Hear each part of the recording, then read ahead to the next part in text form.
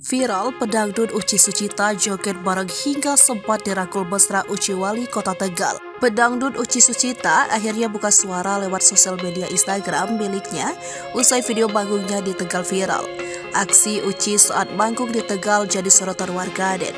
Pasalnya, ia nyanyi dan joget bareng Wali Kota Tegal, Haji Dedi Yon Supriyono. Warganet menyoroti tingkah Dedi yang merangkul mesra Uci selama mereka duet di atas panggung.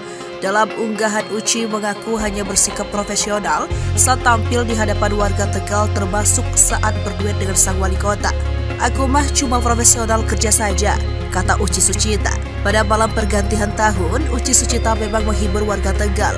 Ia sempat mengunggah momen tersebut dan mengaku senang karena bisa panggung di Tegal pada pergantian tahun. Video Dedion Suryono asik memeluk Uci Sucita sambil bernyanyi di atas panggung viral di media sosial. Banyak